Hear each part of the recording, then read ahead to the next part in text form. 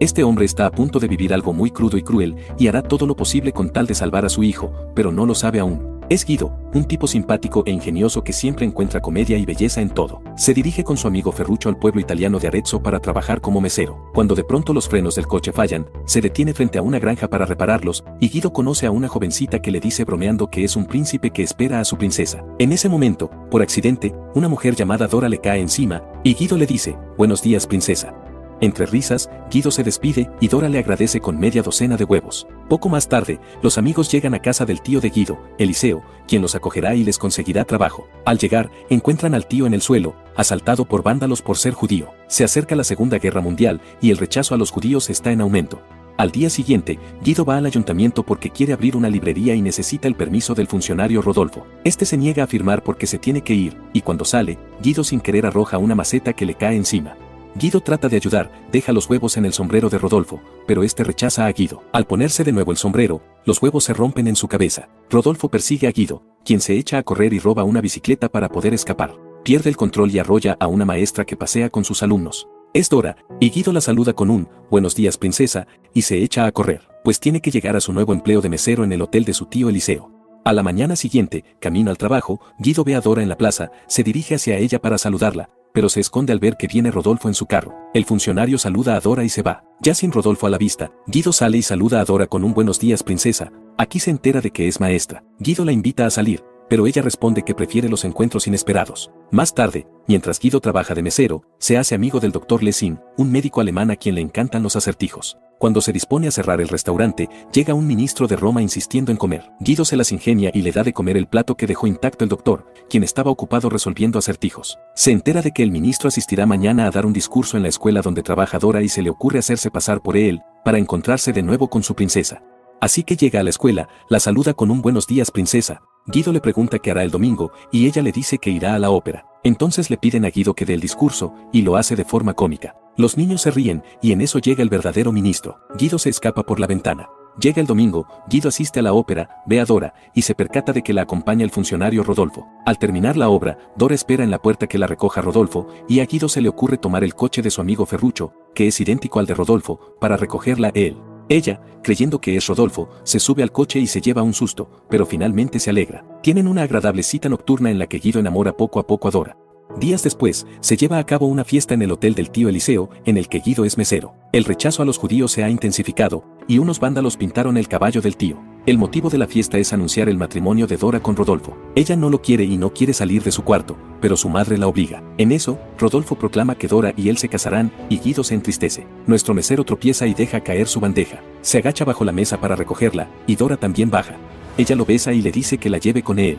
Momento después, Guido entra al salón con el caballo de su tío, y bajo la mirada atónita de todos, Dora escapa con él. Pasan seis años, y ahora tienen un hijo de nombre Josué, a quien le encantan los tanques. Los alemanes han entrado al país, pero aún así, Guido logró montar una librería en la que su hijo le ayuda. Un día, Josué le pregunta a su papá por qué hay negocios que no permiten judíos, y Guido, tratando de preservar la inocencia de su hijo, le explica que cada negocio es libre de dejar entrar a quien quiera, y que ellos prohibirían la entrada de las arañas a la librería porque no la soportan utiliza este tipo de bromas para evadir a su hijo de la cruda realidad. Vemos que el niño se parece mucho a su padre, odia ducharse, lo cual será crucial más adelante, y también dice buenos días princesa. Al día siguiente, Josué cumple años y Dora llega a casa con su madre de sorpresa, pero descubre algo terrible. Los soldados alemanes se han llevado al tío Eliseo, a Guido y a su hijo a un campo de concentración en el tren. Guido le dice a su hijo que se trata de un viaje sorpresa por su cumpleaños. Dora corre a la estación e insiste que la suban. Una vida cómoda sin sus amados es peor que la crueldad de un campo de concentración. El tren llega al campo y lo separan, Dora con las mujeres, el tío Eliseo por un lado, y Guido y Josué por otro. Guido le dice a su hijo que todo es un juego, que lo separan en equipos y que el primero en llegar a mil puntos va a ganar un tanque real.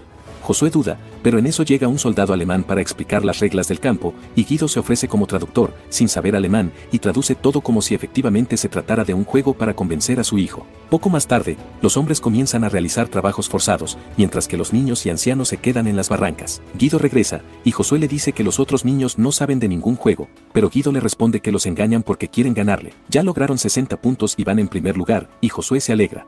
Al día siguiente, Dora se entera de que a los ancianos y a los niños les dicen que los llevarán a ducharse, pero realmente los llevan a cámaras de gas. Teme por la vida de su hijo. De hecho, el tío Eliseo pierde la vida, pero Josué se libra, ya que al oír que iban a ducharse, decide escapar porque odia la ducha. Guido se entera y le dice a Josué que a partir de ahora debe esconderse todo el día porque si lo ven perderá el juego. Guido no deja de pensar en Dora, así que un día aprovecha que nadie vigila el megáfono y, junto con Josué, le manda un lindo mensaje. Buenos días, princesa. Dora escucha y sonríe, sabe que están bien.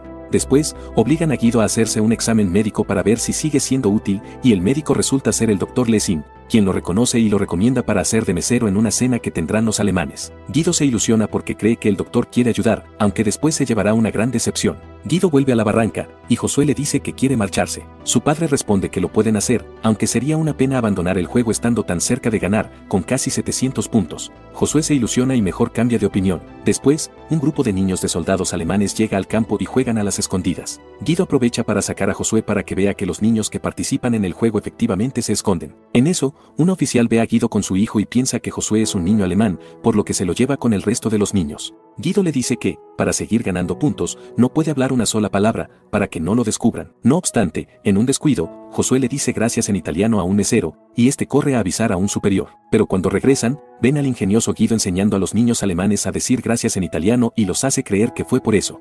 Después, el doctor les impide hablar con Guido, quien se lleva una gran decepción al darse cuenta de que el doctor solo quiere que lo ayude con un acertijo y realmente no le importa ayudarle.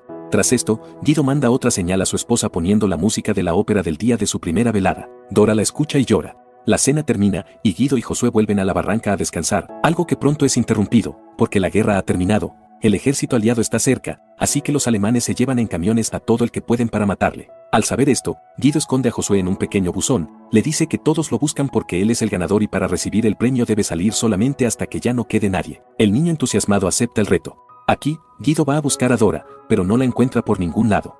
En eso, lo descubren, le ordenan caminar, sabe que Josué lo observa, así que otra vez demuestra su inquebrantable amor por él. Finge que no pasa nada y se burla de la forma en que desfilan. Josué piensa que es un juego, y ambos se guiñan el ojo como señal de complicidad, y así se despiden. Llevan a Guido a un callejón y terminan con su vida. Al día siguiente, ya no hay ningún alemán, los sobrevivientes salen, y hasta no ver a nadie, como le dijo su padre, Josué sale de su escondite. Y llega el premio, llega un tanque, y sale un soldado aliado para Josué. El juego terminó, y todo salió como le dijo su papá. El soldado sube a Josué y lo lleva junto con él. En el camino, Josué reconoce a Dora, su mamá está viva. Se baja del tanque y va con ella. Dora está feliz de poder volver a ver a su hijo y lo abraza, mientras este le cuenta que ganó el juego que con tanto cariño su padre le regaló de cumpleaños.